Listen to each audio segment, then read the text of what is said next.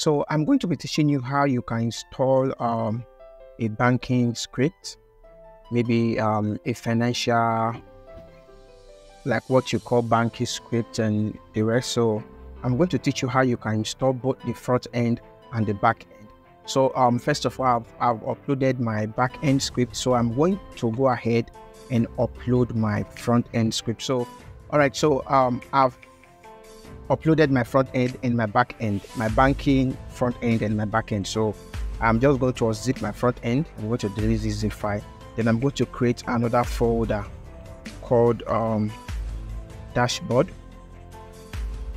So the dashboard will now be my um, my back end, where my user um, login, registration, and admin backend will be. So first of all, let's check how our front end looks like. Um, we've got our front end. This is our front end. And so the next thing we want to link our customer login. Wherever we see customer login, so once they click the login, it should it should take them to where our dashboard. So once they click the login, it should take them to Omateq Digital slash mortgage slash dashboard. So where they can easily log in or they can easily register and admin can also access. So this is the front end of the banking site. As you can see, it is clean and it is unique. So what we are going to do here, we are going to link our login page, our apply. So let's go and extract the files. So this is the backend script for the bank. So I'm, I'm just going to extract it. Um, so um, if you get this script from us, I have included the the um, the step-by-step -step guide on how you can you know um, follow suit and follow up. So uh, I'm just going to bring everything, just going to highlight it and move them, move it back to dashboard. Then I'm going to delete the user. Uh, I think it's user here. Oh, okay. Let's check users. Okay, it's user. So I'll just delete this user. I don't need it. I don't need it anymore. So right now, um, the next thing we are going to do, we are going to link, create our database and link it. So if you check database here, you see the SQL file here, you see the two SQL files. So you can use either of the two. You understand? So you can use either of the two. So uh, we're just going to go to our cPanel, then come to our admin and create a database. Now, um, for the record, um, you need to know where and where you need to, you know, make changes to your um, database. So if you check um, documentation here, we have everything, the step-by-step way, you know, for you to um, change um, the admin um, database, the user database, and the rest. So first of all, um, if you come to include, you need to change your config. This config, you need to change your config. So once you click um, config.php, and once it is open. So this is where we put our db username and our db password which is this place. Our db username our db password.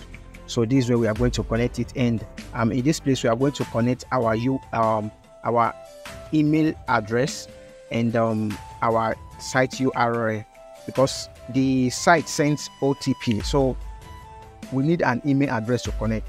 But first of all, let's create our database. So uh, I'm just going to call this mortgage and I'll click next. I'm just going to copy this and um, I'll copy, I'll come to config, uh, which is database username. So I'm going to use it for both database username and um, the database name. So I'm going to go back and do the same thing, mortgage, and I'm going to auto generate password and I'll click I have official state. Then I'll create user. I'll come back here and I'll replace this password with the one I just did. And um, um, my email address, I have to create an email address, but I'll, I'll, I'll use the one I'm using before, omateqdigitals.com. Now, um, the web URL was your web URL. So my web URL, URL will now be omateq digital.com slash mortgage slash dashboard. Remember, it's my back end. So my backend is my dashboard. So once you make sure everything is correct, you make sure everything is correct here. So once you are done with this, you, you need to change the title of the website. This is where you, you change the title of the website. So maybe I'll just call it mortgage. Mortgage, um, let's say organization. So you know what to give your own. So this is a demo. Oh, I'm just testing. Then I'm going to hit the save button. So I've done step one. Now step two is for you to come and add all privileges to your database. You click on changes.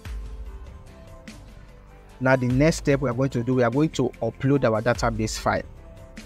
We are going to upload our database file. So we scroll down to our phpMyAdmin. Scroll down to PHP Admin. Then once you scroll down to phpMyAdmin, you are going to locate um, your database which you created and we are going to upload our database. So if you come to this place, if you go back, then um, we need to download our database so that we can upload it to our server.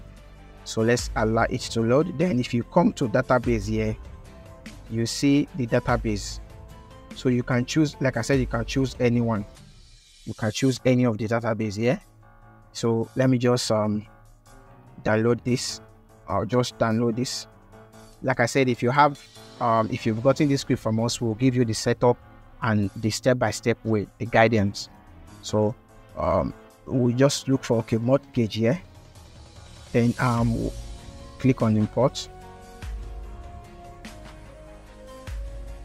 Click on import, and we are going to choose that file we downloaded. We'll go to download and this.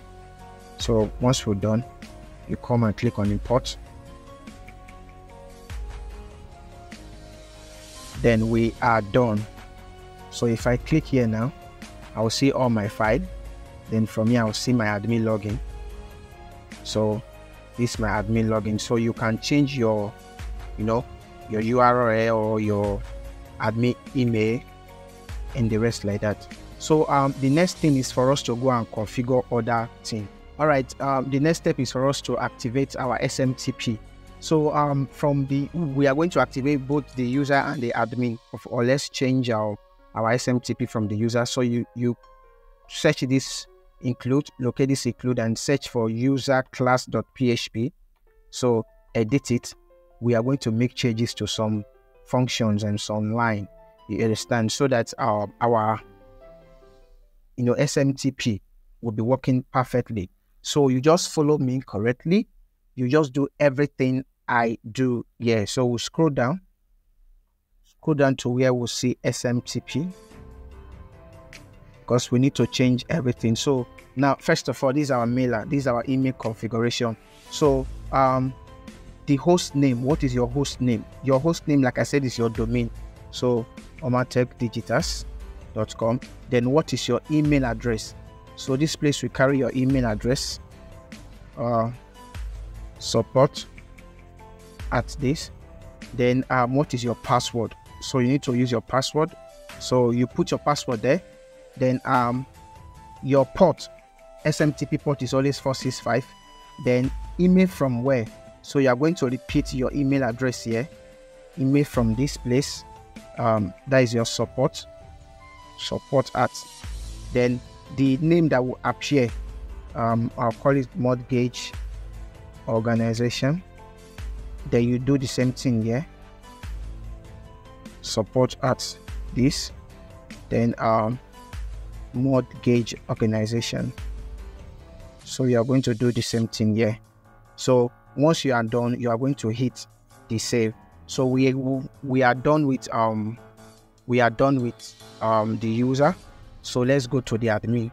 So we save. Then for you to go to the admin so you just go up here. And you locate admin. Then include. Then you look for admin class.php because we are repeating the same thing on admin class.php you just scroll down.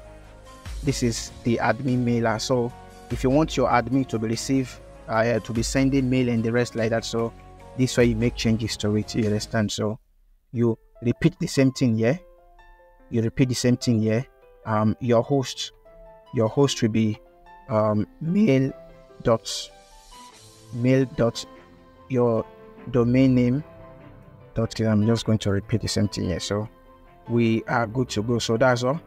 You leave the rest like that and we are good. So once you are done you save. Let's go and check our front end again. So now from our front end we need to link um, our login page to our back end url we need to link our login header.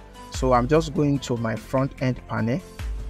Uh let's go to my front end script. This is it. Uh, i'll locate my index.html so i need to make changes to my back end. So i'll just come here and i'll locate my index for my login. Okay this is it customer login. So this is it. Uh so i'm, I'm just going to change it here. So i'm just going to change it. So it should now be this slash dashboard so that if someone hits the customer login if someone hit this customer login it should take person to the dashboard. So we need to change for this login also. So if you are using my my front end or you are using my script and if you watch this tutorial everything will be easy for you. So let's look at that login here. And um, we're going to make changes to it also. Okay this is the login. And um, you just do it like this. A dashboard. So okay let's just save that. And um so let's refresh our front end. And let's try and connect and link to our dashboard. So if you hover it you see that um, everything will change if you hover.